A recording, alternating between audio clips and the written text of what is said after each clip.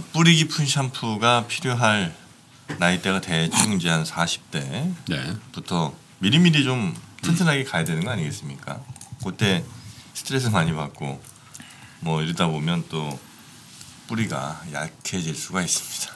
예, 뿌리 깊은 샴푸와 함께 튼튼한 모발 이어가시기 바라겠습니다. 자, 그러면 어, 오늘 2020년 어떤 자산을 가지고 있는 게 더 전략적으로 유리한지 네. 말씀해 주실 홍춘욱 박사님 모셨습니다. 반갑습니다. 네 안녕하세요 반갑습니다. 네. 이제 뭐 저희 식구 같은 분이시죠. 음. 예, 항상 어려울 때마다 등판해 주시고 예, 지난 행사 때도 와주시고 아 예, 맛있었습니다. 고맙습니다. 자, 어, 일단 2020년에 추천 자산을 말씀해 주시기 전에 현 상황을 한번 진단을 해봐야 되는 겁니까 어떻습니까? 예 어제 그 뭐 이렇게 미국에서 여러 일이 있긴 했습니다만 네. 뭐 이게 이제 정말 2003년 사스 때처럼 중증 급성 호흡기 질환 증후군이라고 해서 네. 중국의 가장 경제 활동의 핵심이었던 남부 지방을 완전히 휩쓸었지 않습니까? 네. 아 그렇게 휩쓸었었던 사스 때에 비해서 이번이 어떻게 될 건지에 대해서는 우리가 알 수 없지만 음. 일단 우리가 그걸 잘 모르니까 그때도 그렇게 확산될지 아무도 몰랐잖아요. 그렇죠. 특히 뭐 홍콩의 빌딩 하나가 전체가 다 사람들을 다 감염시킬 정도로 굉장히 그때 확산 속도가 빨랐어요. 저분 목소리가 많이 좀 감기 걸리신 모양이에요. 아, 어제 강의를 좀 했더니 어디 중국 갔다 오신 건 아니죠? 아, 살려주십시오. 살려주십시오. 네. 저그 이 얼마 전에 여행 갔다 와가지고 이 돌아다니면 안 됩니다. 아, 여, 그렇군요. 여행을요? 네? 어디 어디를 다녀요? 아, 예. 런던 여행을 좀 아, 길게 그렇구나. 갔다 왔었습니다. 아, 예. 아, 다, 자, 그래서요.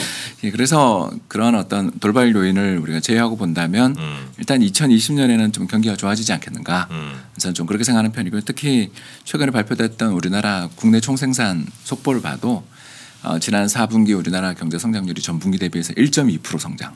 음. 굉장히 성장이 높았거든요. 네. 그왜 성장이 높았냐 이걸 세부 데이터를 봤더니 정부가 1%를 기여하고 민간이 0.2%였어요. 이게 뭘 뜻하냐? 정부 정책이 굉장히 확장적으로 바뀌고 있고 이게 성장률을 지지해 주고 있다라는 거고 음. 2019년 대비해서 2020년에 더군다나 예산안이 추경 감안 안 하고도 9.3% 늘거든요. 네. 그러니까 슈퍼 추경이나 뭐 이런 걸 안 하더라도 슈퍼 예산인 거죠. 음. 예, 한마디로 말해서 경제 전체가 놓고 보았을 때 우리가 나라의 재정이 되게 건전하다 보니까 특히 뭐 2014, 15년에 있었던 연말정산 파동이라든가 담배세 인상, 최근에 네. 종부세 인상, 법인세 인상까지 인상만 네 번 있었거든요.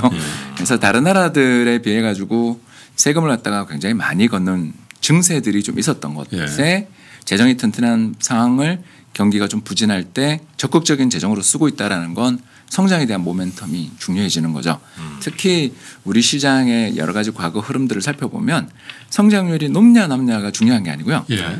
그 전보다 높아졌냐 낮아졌냐라는 모멘텀이 더 중요하더라라는 거죠. 음. 한마디로 말해서 2% 성장 2019년에 2% 성장인데 그게 뭐가 좋아요? 이렇게 이야기하시겠지만 대신 그 2% 성장을 기록하는 과정을 보면 지난해 상반기나 2분기까지만 해도 올해 2019년 2% 성장 절대 달성 못한다라고 많이 봤었는데 네. 4분기에 아무튼 간에 전분기 대비 1.2% 성장하면서 한 해 기준 2% 성장을 달성했다라는 건 네. 음, 결국 경제의 모멘텀이 정부의 적극적인 재정 등에 의해서 회복되고 있는 거 아니냐. 예. 여기다가 우리나라 입장에서 죄송합니다.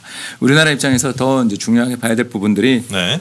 선진국에 있어서의 어떤 어, 주문 수요, 우리나라 수출 제품에 대한 수요 이런 것들이 필요한데 어, 가장 좀 중요하게 봐야 될 부분들이 결국 선진국 쪽에서의 소비들이라든가 또는 네. 투자 같은 부분들일 텐데 최근 발표됐던 미국의 어, 신규 어, 주택 착공 같은 경우 보면 음. 전월 대비 막 17%씩 상승할 정도로 붐을 일으키고 있는 네. 중이다라는 거죠. 그러면 이게 우리나라까지 이제 전염이라는 말보다는 뭐랄까 이게 영향이 우리나라까지 오는데 시간은 멀리지만 반드시 온다. 어, 반드시까지는 몰라도 가능성 높게 온다. 가능성 높게 온다라고 볼 수 있는 거죠. 우리가 이제 경쟁력만 잃지 않는다면 근데 우리나라가 사실 경쟁력을 잃어버렸다고 말하기에는 여러 기업들의 특허라든가 특히 뭐 얼마 전에 나왔던 세계 그 특허권 협회 이런 데 통계를 보면은 네. 한국의 서울 수원 클러스터가 세계 3위의 클러스터라고 올라섰거든요. 특허 기준으로. 예, 그러니까 세계 1위는 동경 요코하마, 세계 2위는 홍콩 선전, 세계 3위가 한국이거든요. 어. 4위가 어디냐면 샌프란시스코 세노제이예요. 어. 그러니까 그만큼 우리나라 기업들의 특허라든가 그 특허의 질들이 향상되고 있다라는 건 음. 아직까지 경쟁력을 잃었다고 단언하기는 어렵지 않냐. 그렇다면 전방 수요가 좀 회복되는 기미만 보이면 우리 입장에서는 상당히 해볼 만한 게임이 되는데 네. 뭐 저희가 불확실성은 여전히 남아 있습니다만 적어도 내수 쪽에서 정부가 받쳐주는 데다가 수출까지 가세를 한다면 음. 어, 2020년은 19년보다 경기의 모멘텀이 더 올라갈 가능성이 있지 않냐. 네. 그렇게 이제 경기의 모멘텀이 올라가게 될 때 가장 저희들이 이제 좀 주의 깊게 봐야 될 자산들은 저는 국내 주식에 대해서 국내 뭐, 주식. 예, 예, 한국 주식에 대해서 저는 좀 관심을 가져야 되는 거 아닌가 이런 생각들을 많이 하게 되는 이유가 국내 주식 그냥 지수 사면? 아니면 뭐 지수도 좋아 보이지만 네. 어, 저는 수출주에 대해서 관심을 좀 수출주. 예. 어 그러니까 그 한국은행의 금리 인하가 막 더 단행되고 이제 뭐 그렇게 되면서 내수 경기도 좋아지고 하면 너무너무 좋겠는데 네. 어, 얼마 전 금융통화위원회가 끝난 다음에 어, 이 말씀하시는 걸 볼 때 부동산에 대해서 굉장히 많은 관심을 가지고 특히 금리 정책, 통화 정책들을 거기에 연동시키겠다는 의지들이 좀 많이 저는 느껴졌거든요. 네. 네, 그런 걸 생각한다면 부동산 시장에서 급격한 조정이나 뭐 이런 게 나타나거나 안정이 회복되지 않는 한 거기서 뭐 금리 인하를 계속하면서 내수의 강한 경기 부양의 의지를 불어넣고 이렇게는 지금은 조금 가능성은 낮지 않냐 라고 본다면 이제 수출 쪽에 우리가 관심을 좀 가져야 되는 게 아니냐. 특히 뭐 반도체나 이쪽이 이제 지금 달려갔습니다만 원래 그 과거 역사적인 이런 흐름이나 상황을 살펴보면 이 반도체가 하나의 특징을 지니고 있는데 네. 이게 뭐냐면 원자재 가격이랑 같이 가릅니다. 어, 원유 가격이랑 같이 가는 특성이 굉장히 강해요. 이거 왜 그러냐 이렇게 생각해 보면 원유랑 반도체가요? 예 가격의 장기적인 흐름들을 살펴보시면 국제 유가와 국제 반도체 가격이 거의 비슷해요. 네. 너무 놀라워서 그러니까 왜 그런가 조사를 해보니까 음. 두 가지 정도 아니겠나 이런 혐의들을 발견할 수가 있었는데 첫 번째는 뭐냐면 음, 반도체 가격이 막 올라간다라는 것은 기본적으로 이 반도체에 대한 수요가 증가하는데 네. 반도체에 대한 수요들이 증가하고 정보통신 제품에 대한 수요가 증가하는 시기가 대체로 호황인 때가 많으니까 네. 호황일 때는 당연히 운행량도 늘어날 거고 음. 또는 전력 소비량도 늘어나니 원유에 대한 소비가 늘어나서 이게 올라가는 거 아니냐 음. 아, 이런 해석이 하나가 가능할 것 같고요. 어, 또 다른 면에 있어서는 바로 이게 대표적인 위험 자산이자 더 나가서 상품 자산의 특성들이 연동성을 되게 가지지 않습니까? 그게 음. 뭐냐하면 국제 상품 시세들이 같이 올라가기 시작하면 네. 예를 들어서 원유 가격이 올라갔다 또는 금값이 올라갔다 그러면 그 연동돼 있는 자산들이 음. 함께 움직이면서 자본 시장에서의 자금 이동들이 나타나는 거 아니냐라고도 볼 수 있는 거죠. 네. 그러면 결국 반도체 가격이라는 게 장기 고정 거래 가격으로 기업들 간에 있어서의 거래 가격 B2B 가격이 있지만 네. 사실은 유통 매장들 또는 유통 회사들 사이에서 결정되는 B2C 가격의 변동성이 훨씬 더 큰 걸 우리는 알지 않습니까? 음. 어, 그러다 보니 이 심리들, 센티멘트들이 상당히 민감하게 서로 엮여서 반응하는 측면이 있다라는 거고요. 물론 어, 연초에 있었던 미국과 이란 간에 있어서의 무역 분 그저 어, 여러 가지 지정학적 갈등 등으로 인해서 국제 유가가 급등하다가 조정을 받긴 했습니다만 네. 어, 최근에 어젯밤 보니까 한 58달러 정도 1배럴에 58달러 정도면 작년에 비해서는 그래도 레벨이 상당히 지금 레벨업되고 있는 중이다라는 예. 것은 말씀드릴 수 있는 것이죠. 음, 결국 제가 말씀드린 것은 심리적 요인도 하나 있고 두 번째는 실물적 요인도 좀, 좀 어, 뒷받침되는 게 아니냐라고 볼 수 있습니다. 네. 네, 그래서 어, 첫 번째로 추천할 수 있는 자산에서 이제 연동되는 자, 자연스러운 이야기가 좀 넘어가는 건데요. 첫 번째는 한국의 수출 기업들, 수출주에 대한 관심들을 좀 가지자라면 여기에 연동돼서 커머디티. 음, 다시 상품들. 말씀드리면 상품 시장에 연동돼 있는 나라에 대해서도 관심을 좀 가질 필요가 있지 않냐라는 그런 생각들을 저희들이 하게 되는 거죠. 네. 즉 신흥국 자산을 의미하는 거 아니겠습니까? EM 자산들이라고 할 때 이제 신흥국 자산들 중에서도 이두 가지 정도로 크게 나뉘잖아요. 한국, 대만, 중국처럼 이그 공업 국가들이 네네네. 또 신흥 시장에서 상당히 중요하지만 신흥 시장 옆에 또 보면 그 신흥 시장 내에서도 원자재 관련돼 아, 있는 예. 예, 그런 나라들에 대해서도 우리가 좀 관심을 가져야 된다라는 거고요. 물론 근데 이런 개발도상국들 중에서 신흥국 중에서도 원자재에 관련된 나라들이 변동성이 크다라는 건 저도 다 동의하니까 그러니까 그 원자재가 많이 있는 나라에 뭐 채권을 사라는 거 아니면 그 나라에 뭐 무슨 뭐 채권도 좋다고 저는 생각되는데 음. 이제 채권에서 어떤 나라 채권이 더 좋은가 이거는 이제 신 센터장님을 모셔서 하면 좋을 것 같고요. 음. 제 생각에는 이럴 때 가장 신센터 심환종 센터장이죠. 그렇죠. 네. 이번에 책도 쓰셨던데 재밌게 읽고 음. 있습니다라고 전해주시고요.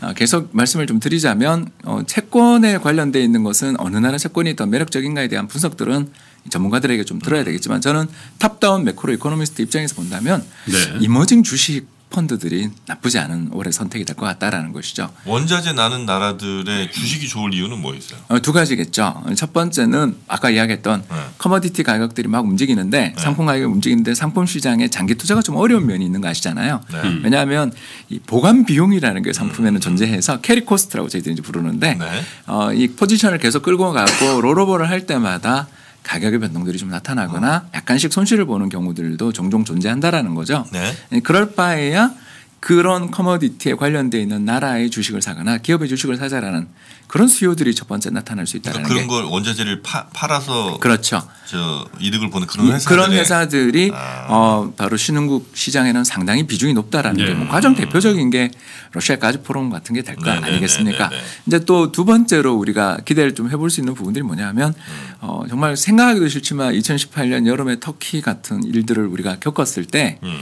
우리가 다들 신흥국 시장에 대해서는 한 묶음으로 걱정을 하잖아요. 네. 왜냐하면 외화 유동성 문제들 때문에 이 나라가 어려워 지는 가능성들이 생기니까 음. 우리 외환 위기에 대한 공포들을 사람들이 다 가지고 있다 보니 네. 신흥국 투자에서 제일 무서운 게저 나라 환율 어떻게 될지 모른다. 저 나라 외환 고갈될지 모른다라는 걱정들을 되게 많이 하잖아요. 네. 그런데 이 상품 가격이 상승하게 되면 어려웠던 아, 나라들. 예 그렇죠 외환 보유고가 다시 늘어나거나 무역 수지가 개선되는 효과들이 음. 생기게 되는 거죠. 그렇기 때문에 신흥국 환율에 대한 어떤 우려들이 완화되는 게 또 주식시장에 모멘텀을 주는 경우들이 네. 많다라는 것입니다. 그래서 채권은 국가별로 다 신용도들 조사해 봐야 되고 이 나라 네. 정책금리 어떻게 가느냐를 조사해 봐야 된다는 측면에서 좀 투자에 있어서 국가별 접근이 필요하다고 저는 보여지지만 네, 네. 주식시장이라는 측- 측면에서 놓고 본다면 음. 어, 신흥국 시장에 대해서는 작년 그렇게 고생했던 시장들 중에 국가별로 분명히 등락은 엇갈릴 수 있는 여지는 있습니다만 음. 시장 전체를 보고서 들어가는 자금들도 꽤 나올 가능성이 있다. 예. 아, 이렇게 볼 수 있는 것 같습니다. 음. 자 그리고요. 그러면 국내 주식 중에 수출주 그다음에 뭐 상품 관련해서 원자재를 네, 그렇죠. 생산하는 그런 국가들 네. 또 마지막은 이제 이렇게 수출 잘 되기 시작하고 네. 어, 더 나가서 글로벌하게 어, 달러가 강하기보다는 그냥 이제 달러의 강세가 좀 진정되는 구간이라고 제가 이제 전망했다라고 생각되는데요. 네. 이런 시기에 또 강세를 보이는 자산이 하나 더 있는데 안타깝게도 국내 부동산입니다. 이게 참 어- 어려움이 이런 데 있는 거죠. 국내 부동산이요? 예, 예, 왜 이게 무서우냐면 환율하고 부동산 시장이 생각 밖으로 연동이 됩니다. 왜 그럴까 이렇게 우리가 생각을 해보 환율과 부동산이 연동이 된다. 예, 왜 그러냐면 한국은행 입장에서 가장 무서운 게 뭐냐면 음. 디플레입니다. 음. 그렇지 않습니까? 통화 정책 당국 입장에서 네. 디플레이션 리스크를 방어하는 것 이런 것들이 정책 당국 입장에서 제일 무서운 일인데 우리나라의 물가를 결정짓는 요인은 크게 봐서 두 가지가 있지 않겠어요?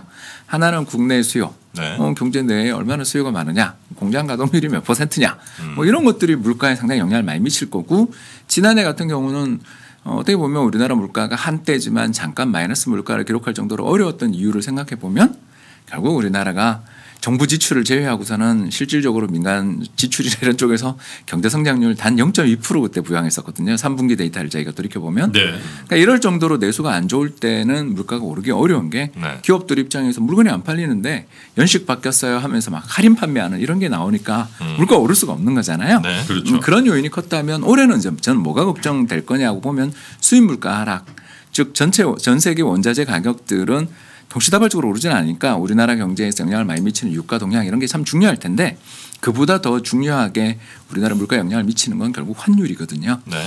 환율이 떨어지는 국면에서 그러니까 지난해 상반기만 해도 1,200원 넘고 1,250원 가까이까지 네. 갔었던 걸 생각하면 벌써 지금 환율이 거의 50원, 100원 가까이 지금 떨어져 있는 상황에서 음. 국제 유가가 완만하게 오른다라고 저는 이제 가- 아까는 가정을 했던 거니까 네. 이런 여건이 된다면 더군다나 우리가 FTA를 되게 많이 맺었어요. 음, 네. 한중, 한미, 한유럽, 칠레 이렇게 맺다 보니 우리나라 대부분 수입하는 또또 생필품이라든가 각종 소비재에 대한 수입은 네.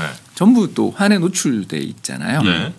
이러다 보니 이게 어, 환율이 급락하는 시기들 어, 대체로 말씀을 드리자면 달러에 대한 원화 환율들이 상당히 안정돼 있고 하락하는 시기들 대표적인 게 2014, 15년 기억나시죠? 그때 환율 천 원 깨지고 막 그랬잖아요. 네. 예, 그런 시기들처럼 환율이 상당히 높은 수준에 있었다 갑자기 떨어지는 시기가 될 때 물가가 오르기 어려워지고 음. 그렇기 때문에 한국은행 입장에서 분명 금융통화위원회 이후에는 부동산에 대한 걱정을 되게 많이 하셨지만 인상은 굉장히 어렵지 않겠는가. 어, 인상보다는 인하에 대한 기대들을 여전히 아직 시장에서 한 사람도 있지 않냐라는 금리를 더 인하한다고요? 예, 금리를 더 인하하거나 적어도 인상하기는 어렵지 않냐라는 기대들을 해볼 수 있는 거죠. 왜 물가가 못 오르니까. 지금 1.25입니까? 1.25입니다. 네. 아. 어, 여기에 이제 두 번째 문제가 발생하게 되겠죠. 0점대로 갑니까 그러면? 그럴 수도 있다라는 거죠. 만약에 우리 환율이 정말 경기는 별로 안 좋은데, 그러니까 어, 그 무역 수지라든가 외국인 자금에 의해서 환율이 떨어지는 경우에는 내수 경기는 별로 안 좋은데도 불구하고 물가가 더 떨어지고 환율이 더 떨어지는 그런 리스크들에 대해서도 대비를 할 필요가 있거든요. 금리를 추가적으로 내릴 수 있다. 내릴 수도 있고 적어도 제가 말씀드릴 수 있는 건 올해 연내 금리 인상은 어렵지 않겠냐. 저는 이제 그렇게 좀 보는 의견을 갖게 되는 거고요.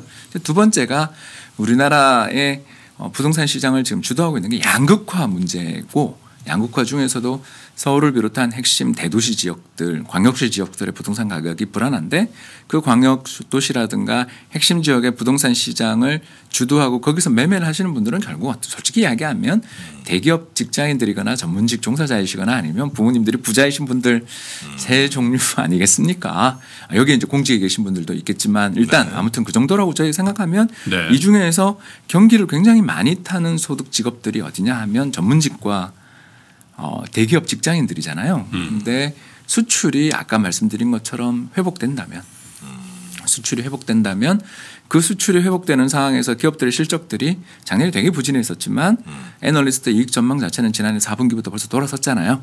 만약 요 기대가 현실화되며 상반기 정도부터 기업 실적들이 not bad 정도를 기록하고 하반기에 좋아진다면 보너스가 하반기에 또는 임금 협상 자체가 또는 고용 자체가 후행하니까 그래서 저는 뭐 상반기 오른다라는 생각은 저도 안 하는데요. 왜냐하면 굉장히 지금 엎드려 있는 상황이고 네. 거래 자체가 실종돼 있고 특히 6월까지 장기 보유 특별 그런 어떤 혜택들을 양도세 혜택. 양도세 혜택을 볼 수 있는 분들의 매물이 나올 수 있기 때문에 음. 저도 뭐 지금 상반기 다 바로 오른다라고 말할 수 없지만 경기가 예상대로만 된다면 하반기 다시 또좀 부동산 시장에 대해서 어, 관심들이 또 높아질 수 있는 여지가 있다. 그러니까 이걸 이제 틀기 위해서 정부의 정책이라는 게 필요한데 제 이제 제가 말씀드린 것은 앞으로 나올 정책은 제가 잘 모르지만 네. 통화 정책 측면이나 재정 정책 측면에서는 경기 완화적이지 않겠냐. 예. 돈이 풀린다. 예. 여기에 두 번째 구매력 있는 어떤 어, 양극화 이야기죠. 네, 그래서 구매력 좀 있는. 소득이 높은 분들의 소득 전망들이 점차 또 개선될 가능성들이 있다라면 이에 대해서 어, 좀 부동산 시장이 반응할 거다. 반응할 가능성도 있지 않냐. 이렇게 볼 수 있는 것 같습니다. 그 부동산 시장은 아마도 간다면 상반기보다 하반기 가능성이 좀 높고 맞습니까? 저는 그렇게 예상을 하고 있는데 네, 또 네. 제가 맞은 적이 잘 없어서 맞은 적이 잘 없어요. 아, 왜냐하면 네. 먼저 움직이는 경우들을 아, 많이 보세요. 제가 너무 많이 봤어요. 작년도 그랬던 것 같아요. 음. 작년도 좀 이렇게 경기가 연말에 조금 좋아지려는 징후들이 보였으니까 네. 그때 OECD 경기 산행 지수도 그랬지 않습니까? 그래서 한 작년 3분기 정도까지만 해도 정말 안 좋다가 4분기에 좀 돌아서지 않겠냐 이런 약간 희망 섞인 전망들을 하고 있어서 예. 아, 연말에나 오르지 않겠어요? 뭐 이랬는데 웬걸 작년 6월부터 서울 집값이 그렇게 오를 줄은 정말 몰랐거든요. 네, 네, 그러니까 네. 이런 걸 생각하면 부동산 시장이든 이 주식 시장이든 유동성이라는 게 어떤 시장을 더 선호하냐 문제도 있는 것 같아요. 음. 그래서 이건 뭐 정말 이코노미스트 입장에서 알 수 없는 거고 그때도 뭐, 근데 부동산 가더라도 또 강남만 또 갑니까? 아니면 아 이번에는 정부가 cap을 좀 씌워놔가지고요. 네. 제 생각에는 중저가 쪽으로 움직일 아, 가능성이 좀 높지 않냐. 뭐한 6, 7억 뭐 이런 음. 그런 중위권, 그러니까 서울의 중위 아파트, 그러니까 1등부터 100등까지를 줄을 세웠을 때 50등에 해당되는 아파트가 좀 8억 후반 정도 네, 9억 되거든요. 가까이 되죠. 예, 9억 가까이 되는 그쪽 아파트들이나 그런 지역에 대한 선호들이 좀 부각될 여지가 있는 것 같고요. 음. 또 하나가 올해 우리나라 교통망 관련돼서 네. 호재들이 조금씩 나오는 해잖아요. 음. 뭐 가장 대표적인 게 지금 이제 금방 올해 내로 개통되는 교속 고속도로들도 있지만 네. 수도권 내에서 철도망들 관련된 GTX. 예, GTX나 음. 이 땅을 파는 게 이제 올해 작년은 이제 계획들이 나오고 네. 뭐 사업이 했다면 올해는 땅 팔 가능성들이 있을 때 그때가 항상 반응을 되게 음. 하지 않습니까? 가장 대표적인 게 최근에 있었던 또 신분당선 관련된 그런 뉴스들도 있었고 하남선도 올해 있고요. 이런 부분들에 대해서도 수도권 꼭 서울만 아니라 음. 제 생각에 약간의 확산의 여지들, 교통망 관련된 이슈들 관심들도 높은 네. 해가 되지 않겠나 싶어서 작년처럼 강남 독주 이렇게보다는 네.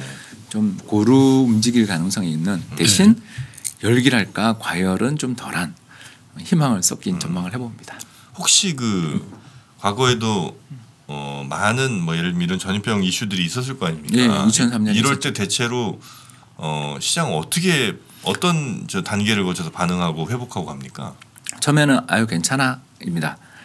현실 부정이죠. 원래 그래요? 예, 어, 2003년 사드 때도 사스 때도 그랬고요. 네. 또 메르스 때도 그랬습니다. 메르스 때는 모 기관에 있어서 저는 정말 그걸 현장에서 매니저를 생활하고 있어서 네. 현장에서 느꼈는데 처음에는 현실 부정입니다. 음. 어, 대부분의 어떤 이런 이벤트들이 벌어지게 될 때는 아 이거 별거 아니야. 아 요새 약이 얼마나 좋은데. 아 처음에 원래 그래요? 예, 항상 그 시장에서는 어 이걸 어, 큰 문제가 없어 이렇게 생각을 합니다. 그러다가 이제 사스 때는 음. 정말 홍콩의 그 그 고층 주상복합 아파트 네. 전체 주민들 한 천여 명이 갑자기 다 집단, 병, 예, 집단 집단 감염. 감염 되는 걸 보면서 음. 그다음 패닉이 옵니다. 그래서 대유행이라고 저희들이 부르는 세계적 대유행에 대한 공포들. 그러면서 스페인 독감 이야기가 나오면 그때가 이제 최악이 되는 거죠. 세계 1차 대전 당시에 스페인 독감으로 4천만에서 5천만 명 정도가 죽었던 경험들을 또 이제 유럽의 페스트 얘기 나와요. 예, 그렇죠. 그러니까 그 이야기가 나올 때 시장이 현실 부정 이후에 조정 단계를 거치고요. 야, 딱 좋은 얘기다. 뉴스에서 스페인 독감 얘기 나오면은 그때 저점이라. 예, 그 메르스 때도 그랬습니다. 그러니까 저는 정말 그때를 잊을 수가 없어요. 밤에 잠을 못 잤어요. 저희들은 이제 포지션을 가지고 있으니까 또 더군다나 매매도 잘 못하는 기관이 있으니까 그냥 들고 가야 되는데 이게 이제 뭐가 문제가 되냐면 손절 문제들이 나오거든요. 그래서 쌈로스 문제들이 있기 때문에 그거 관련돼서 보고서를 써야 됐던 경험들이 있었어요. 그리고 이제 세 번째가 뭐냐면 확산이 굉장히 광범위하게 이루어지는데 이런 그때 있었던 사스와 메르스는 특징이 뭐냐면 확산 속도는 되게 빠르지만 처음에 감염됐던 독성이 강한 환자들 일부가 돌아가신 건 사실인데 음. 어, 전염병의 확산은 되게 빠른데 치사율이 나죠. 치사율이 생각보다 네, 낮다라는 게 맞아요. 밝혀지는 시- 시기가 주- 도래하고 또 그걸 위생에 대한 관심들이 높아지면서 확산은 어쩔 수가 없어요. 이게 대부분 이제 바이러스 관련돼 있던 그렇죠. 질환들이었기 때문에 네. 아, 정말 세균 관련돼 있는 질환들과는 좀 다른 특성이 있어서 굉장히 확산 속도는 빠른데 이게 사람들 몸 사람과 사람 사이를 계속 전염을 시켜 나가는 과정에서 이게 독성들이 좀 떨어지는 특성들이 또 에볼라랑 확실히 다른 특성들을 발견하게 되면 에볼라는 정말 치사율이 너무 높잖아요. 네네네네. 그러니까 그런 것과는 좀 다른 유형이다라고 하면 이제 세 번째가 진정되기 시작하죠. 그리고 이제 네 번째는 반등이 아주 강하게 나왔는데 다 그때마다 반등이 강하게 나왔는데 그때 왜 반등이 나왔냐 하면 이런 어려움들을 이겨내기 위해 음.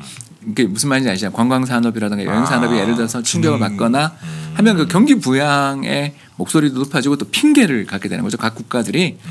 안 그래도 좀 부양을 하고 싶은 마음들이 뭐 선거도 음. 있고 여러 가지 이유로 있었는데 어떤 정치적 부담이라든가 명분이 없어서 못했던 부분들을 강한 경기 부양. 그러니까 2003년 사스 때는 정말 중국이 어, 경기 부양이 어떤 것인가를 보여준 정도의 대대적인 통화 공급 확장을 해서 그 뒤 강력한 랠리를 이끌고 그게 너무 과열되니까 2004년에는 반대로 그 경기 부양을 중단하는 바람에 원자바우 쇼크가 발생하는 네. 이런 사이클들을 겪었습니다. 메르스도 그렇죠. 네. 감상해 보면 2014, 15년을 돌이켜 보시면 메르스 사태로 인해서 우리나라 관광객이 급격히 감소했다가 음. 2016년 사상 최대로 늘어나는 과정들을 아? 보셨어요. 어. 그래서 일시적 충격으로 끝나고 바로 그 해는 되게 어려운 것처럼 보였지만 거꾸로 그 다음 해가 사상 최대의 관광객 유입과 또 랠리가 펼쳐졌었죠.